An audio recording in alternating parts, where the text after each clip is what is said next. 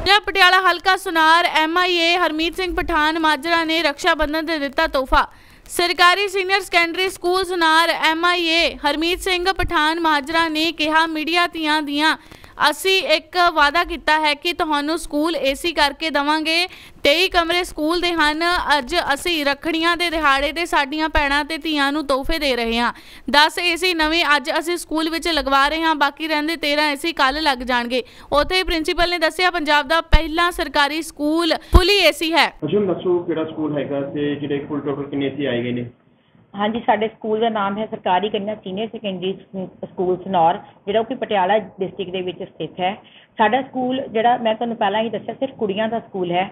ਤਾਂ ਇੱਥੋਂ ਦੇ ਜਿਹੜੇ ਸਾਡੇ ਐਮਐਲਏ ਸਾਹਿਬ ਨੇ ਹਰਮੀਤ ਸਿੰਘ ਪਠਾਨ ਮਾਜਰਾ ਜੀ, ਉਹਨਾਂ ਵੱਲੋਂ ਸਕੂਲ ਨੂੰ ਏਸੀ ਕਰਨ ਦੀ ਪਹਿਲ ਕੀਤੀ ਗਈ ਹੈ। ਪਹਿਲੇ ਸਟੇਜ ਦੇ ਵਿੱਚ ਉਹਨਾਂ ਨੇ 10 ਏਸੀ ਜਿਹੜੇ ਸਕੂਲ ਨੂੰ ਭੇਜੇ ਨੇ ਔਰ ਕੱਲ ਤੱਕ ਹੋਰ 13 ਏਸੀ ਜਿਹੜੇ ਨੇ ਸਕੂਲ ਵਿੱਚ ਆ ਰਹੇ ਨੇ।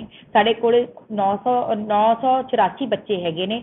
ਤਾਂ ਉਹ ਸਾਰੇ ਕਲਾਸਾਂ ਦੇ ਵਿੱਚ, ਜਿੰਨੇ ਵੀ ਸਾਡੇ ਕਲਾਸਰੂਮਸ ਨੇ, ਉਹਨਾਂ ਦੇ ਸਾਰਿਆਂ ਦੇ ਵਿੱਚ ਬੱਚਿਆਂ ਵਾਸਤੇ ਏਸੀ ਲੱਗ ਜਾਣਗੇ। ਕਿੰਨਾ ਕੁ ਫ਼ਰਕ ਪਏਗਾ ਇਸੀ ਨਾਲ ਸਕੂਲ ਦੇ ਬੱਚਿਆਂ ਅਤੇ ਉਹਦੇ ਨਤੀਜਿਆਂ ਉੱਤੇ ਬਹੁਤ ਜ਼ਿਆਦਾ ਫ਼ਰਕ ਪਏਗਾ ਜੀ, ਕਿਉਂਕਿ ਸਾਡੇ ਬੱਚਿਆਂ ਦੇ ਵਿੱਚ ਬਹੁਤ ਜ਼ਿਆਦਾ ਐਕਸਾਈਟਮੈਂਟ ਹੈ। ਬੱਚਿਆਂ ਤੋਂ ਇਲਾਵਾ ਇਲਾਕਾ ਨਿਵਾਸੀਆਂ ਦੇ ਵਿੱਚ ਵੀ ਬਹੁਤ ਐਕਸਾਈਟਮੈਂਟ ਹੈ। ਮੈਨੂੰ ਸਵੇਰ ਦੇ ਕਈ ਫੋਨ ਵੀ ਆ ਗਏ ਔਰ ਕਈ ਪੇਰੈਂਟਸ ਜਿਹੜੇ ਨੇ ਪ੍ਰਾਈਵੇਟ ਸਕੂਲਾਂ ਤੋਂ ਵੀ ਵਿਜ਼ਿਟ ਕਰਨ ਆਏ ਨੇ।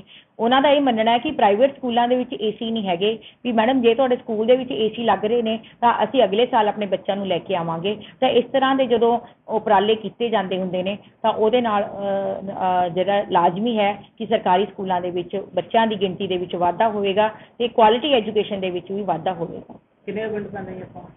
ਆਪਾਂ ਨੂੰ 7-8 ਪਿੰਡ ਪੈਂਦੇ ਨੇ ਫੀਡਰ ਪਿੰਡ, ਕਿਉਂਕਿ ਕੜੀ- ਲੜਕੀਆਂ ਦਾ ਸਕੂਲ ਹੋਣ ਕਰਕੇ ਜ਼ਿਆਦਾਤਰ ਪੇਰੈਂਟਸ ਹੀ ਕਿਉਂਕਿ ਕਾਫੀ ਦੂਰੋਂ ਵੀ ਜਿਹੜੇ ਬੱਚੇ ਨੇ ਸਾਡੇ ਕੋਲੇ 15-15 20-20 ਕਿਲੋਮੀਟਰ ਤੋਂ ਵੀ ਆਉਂਦੇ ਨੇ ਪੇਰੈਂਟਸ ਦੀ ਇਹ ਉਮੀਦ ਹੁੰਦੀ ਹੈ ਕਿ ਅਸੀਂ ਕੁੜੀਆਂ ਵਾਲੇ ਸਕੂਲ ਦੇ ਵਿੱਚ ਬੱਚਿਆਂ ਨੂੰ ਭੇਜੀਏ ਤਾਂ ਜ਼ਿਆਦਾ ਠੀਕ ਹੈ।